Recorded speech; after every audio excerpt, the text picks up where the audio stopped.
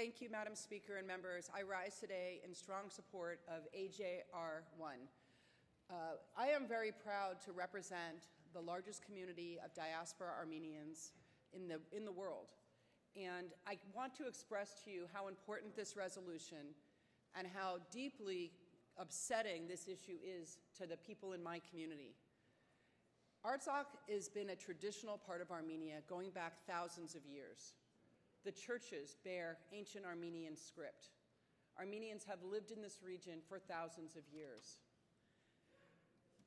Azerbaijan has mounted an unprovoked war against the Armenian people, using the civilians in Artsakh as cannon fodder. And by cutting off a road which is the primary way to get all manner of supplies between the mainland in Armenia and into the Armenians living in Artsakh.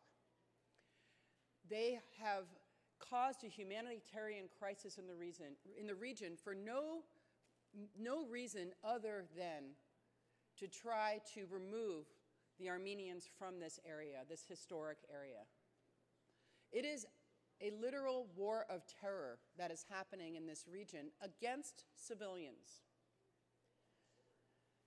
My community has relatives, family members, people who live part of the time in Artsakh or Armenia and part of the time in Glendale, Sherman Oaks, Hollywood, all over Los Angeles. And I would say that for those of you who represent areas like Fresno, it's the same situation. So to know that your family members right now are cut off from aid, children literally cut off from being able to be accessed by their parents, you can imagine how incredibly upsetting and tragic this is for so many Californians. We in California and the United States need to send a very strong message to Azerbaijan and to the world community that this kind of terror against civilians will not be tolerated. With that, I urge a, an aye vote on AJR 1. Thank you.